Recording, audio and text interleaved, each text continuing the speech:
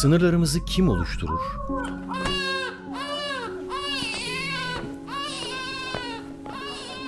Toplumsal cinsiyetimiz belki de bize verilen ilk engeldir.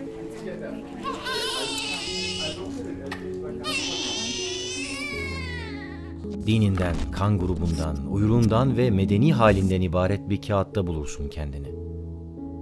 Yetişkinlerin elinde olan hayallerine ulaşamazsın çünkü senden uzağa konmuşlardır.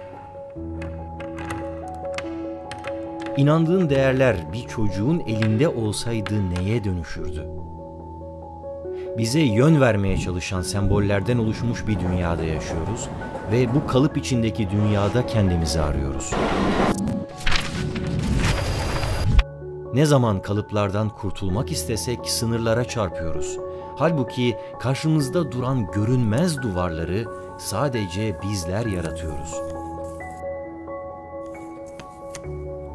Yetişkinlerin kurallarıyla yetişkinlerin oyununu oynuyoruz. İnsanlara uğrunda savaşacakları sınırlar veya çizgiler verirseniz birbirleriyle savaştıklarını görürsünüz.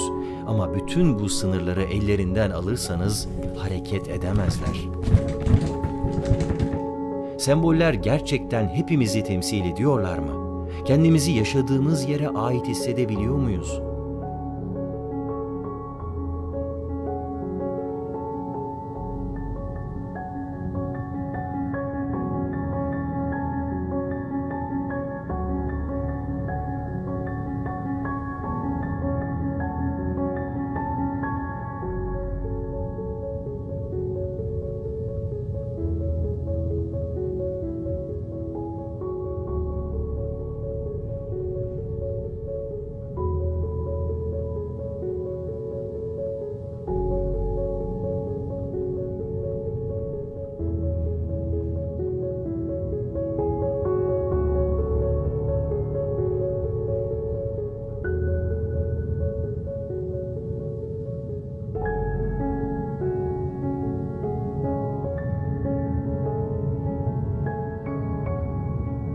Peki nasıl bir dünyada yaşamak ister çocuklar?